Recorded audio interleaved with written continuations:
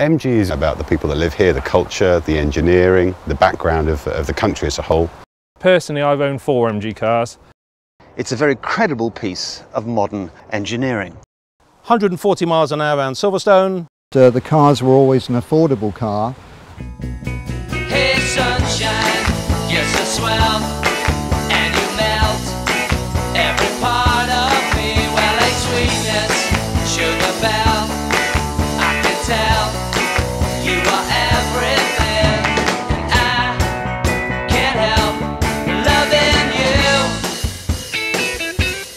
When I drove that first prototype was the way it handled. And since then, MG boffins have refined it even more. The MG6 are fantastic.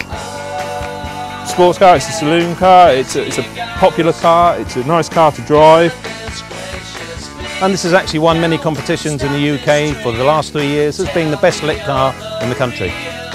It's quick, it's diverting, it's interesting to drive, it's roomy. So I think it's fantastic the way they're promoting it and the enthusiasm of the Chinese I've met is just remarkable. It's uh, a fun car, it's, it just sums up everything about MG. I'm very much looking forward to seeing the next level of MGs and the sports derivative uh, derived versions coming out in the future.